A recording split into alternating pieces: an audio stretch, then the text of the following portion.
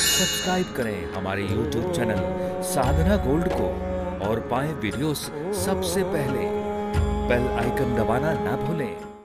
जब मनुष्य की मृत्यु हो जाती है तो सब लोग राम नाम सत्य है, ऐसा क्यों बोलते हैं? इसीलिए बोलते हैं क्योंकि राम नाम बोलने से वह मृत प्राणी। शास्त्रों में उल्लेख है कि यदि वह जीते जी ना बोल पाया हो तो उसकी लाश के साथ यदि कोई राम नाम बोलता हो, कोई मरे हुए व्यक्ति के पास राम नाम बोलता हो तो भी उस व्यक्ति का उद्धार हो जाता है राम नाम से।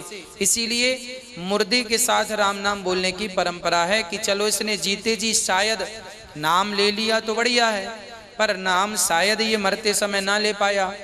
तो दो चार लोग इकट्ठे होके पड़ोसी अड़ोसी और राम नाम सत्य बोलते हैं ताकि इस राम नाम को यह।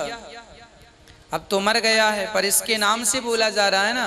भाई आपके नाम से मुर्दे के साथ चलने वाले माना कि हज़ार लोग हैं है ना? माना कि पाँच सौ लोग हैं। और पाँच सौ लोगों ने यदि आ, एक बार नाम बोला एक एक बार सारे लोगों ने तो एक बार में पाँच सौ नाम हो गए। दो बार बोला तो हज़ार नाम हो गए।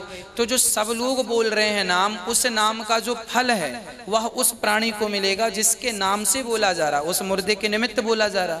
तो उसकी सदगति होने के लिए राम नाम सत्य बोला जाता है।